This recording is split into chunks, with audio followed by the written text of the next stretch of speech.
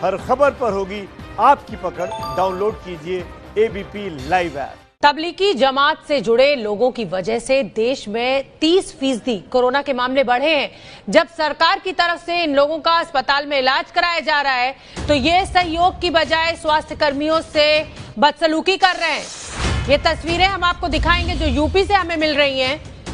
कानपुर के अस्पताल में डॉक्टर्स के साथ बदसलूकी की है। तबलीगी जमात के लोगों ने यूपी के कानपुर की जहाँ तबलीगी जमात से जुड़े हुए ये लोग अस्पताल में नमाज़ पढ़ रहे थे। डॉक्टर्स ने जब इनको रोका तो इन्होंने बहस करना शुरू कर दिया। डॉक्टर्स की मनाही के बावजूद लोग वार्ड के अंदर इकट्ठा होकर नमाज़ पढ़ रहे हैं और बहस कर रहे हैं डॉक्टर्स से। ये समझना पड़ेगा, आप किसी भी धर्म से ताल्लुक रखते हो। रणबीर, हमारे सहयोगी हमसे जुड़ रहे हैं। रणबीर, बहुत चिंताजनक ये मामला है।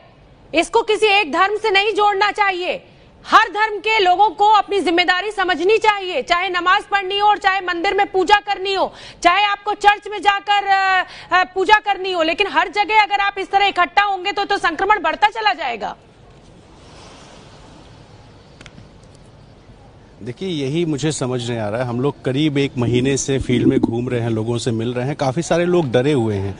अपने घर का भी ज़रूरत का सामान लेने के लिए लोग निकलने से पहले डरते हैं, लेकिन पता नहीं इन लोगों के अंदर क्या ऐसा दिमाग में भरा हुआ है कि अपनी जान की इनको चिंता नहीं है, दूसरों की जान की चिंता नहीं है, और जो इनकी सेवा करने में डॉक्टर्स लगे हैं, उन डॉक्टर्स से बहस कर रहे हैं। नमाज़ पढ़ने को किसी ने मना नहीं किया है। अपनी अपनी जगह डिस्टेंसिंग मेंटेन रख के अगर नमाज़ पढ़ा जाए, इसके लिए ना डॉक्टर्स मना कर रहे हैं, ना प्रशासन मना कर रहा है। लेकिन भीड़ इकट्ठी करके नमाज़ पढ़ने पे मनाही है और ये हेलेट अस्पताल की तस्वीरें हैं कानपुर की, जहाँ हेलेट अस्पताल से दो दिन पहले प्रिंसिपल ने आरोप लगाया था कि ये लोग बदतमीजी कर रहे हैं और अब सीसीटीवी फुटेज आई है। इसमें दो तारीख की फुटेज है, पहली है इकतीस मार्च की।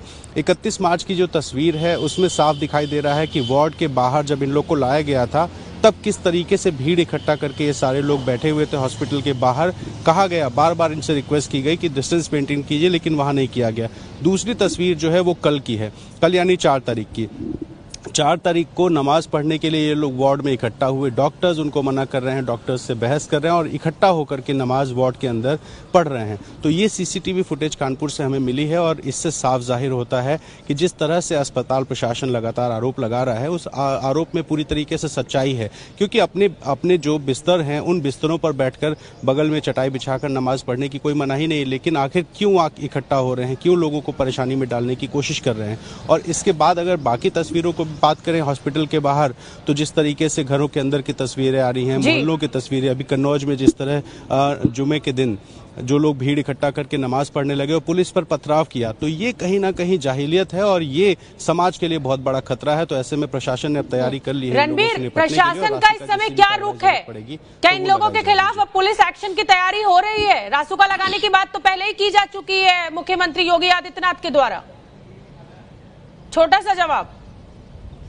बिल्कुल होगी जिस तरीके से गाजियाबाद गाजियाबाद में जिस तरीके से थूकने की खबर आई उसके बाद एफआईआर दर्ज की गई। अब यहाँ भी वही होगा।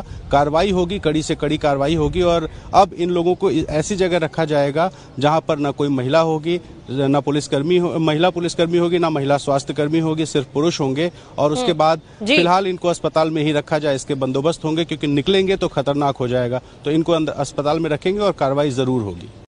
हर सुबह कीजिए दिन की परफेक्ट शुरुआत। खबरों के साथ। क्योंकि यहाँ खबरें काम की। और कहानियाँ कमाल की। देखिए नमस्ते भारत सुबह छह बजे से दस बजे तक एबीपी न्यूज़ पर।